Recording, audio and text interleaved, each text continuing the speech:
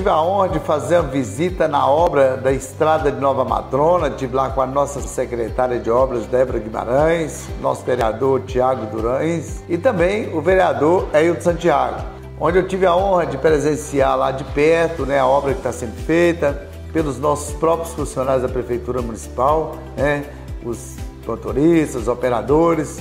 E diga-se de passagem, está ficando uma obra de excelente qualidade.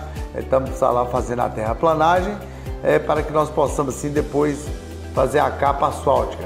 Quero aqui pedir um pouco de paciência aos moradores aí de Nova Matrona, que é, toda obra traz um pouco de transtorno, mas com fé em Deus, em breve iremos cumprir o nosso compromisso com vocês. Então nós fizemos a primeira etapa o ano passado, que ficou de excelente qualidade. Agora estamos fazendo a segunda etapa. Compromisso feito, compromisso cumprido aí com o povo de Matrona e com fé em Deus iremos inaugurar em breve essa obra juntamente com todos vocês. Um grande abraço aos amigos e amigas de Nova Matrona e toda a região que faz uso dessa estrada.